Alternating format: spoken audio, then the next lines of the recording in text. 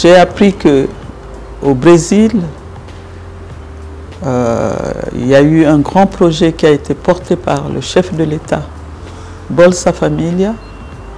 J'ai demandé à l'équipe de la Banque mondiale d'organiser ce study tour pour moi et certains de mes collaborateurs.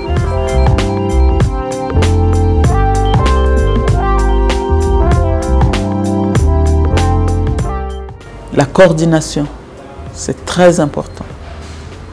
Et après beaucoup d'années d'exécution de projets ici, il y avait beaucoup de programmes avant Bolsa Familia.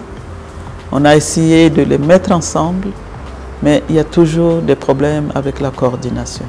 Et ça, chez nous aussi, c'est un défi.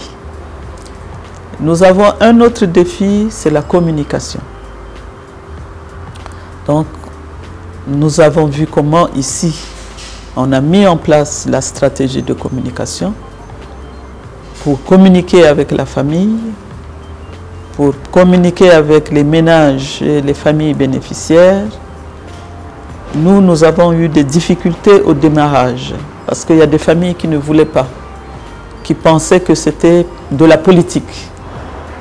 Mais maintenant qu'ils ont vu les bénéficiaires, ils ont des preuves qu'il y a des bénéficiaires qui ont essayé de faire quelque chose avec. Maintenant, il y a une demande. Les familles elles-mêmes viennent. Même des familles qui ne sont pas éligibles demandent à être éligibles. Vous voyez, donc la communication, c'est très important. On a visité euh, cette municipalité là où nous sommes partis, là, là où il y a le CRAS. Euh, on a vu comment fonctionne le registre unique. On a vu comment on accueille les personnes et comment ils font des activités collectives et tout. Et on a vu aussi euh, la ville qui a été une ville où les gens vivaient des ordures, ramassaient des ordures. On a vu tout ça. On a touché du doigt.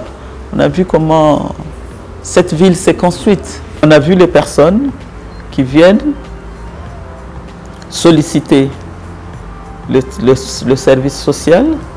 On a vu l'accueil, comment on prend le temps de les écouter, comment on traite leurs problèmes. Euh, voilà. On a la même chose chez nous, euh, mais bon, avec nos limites.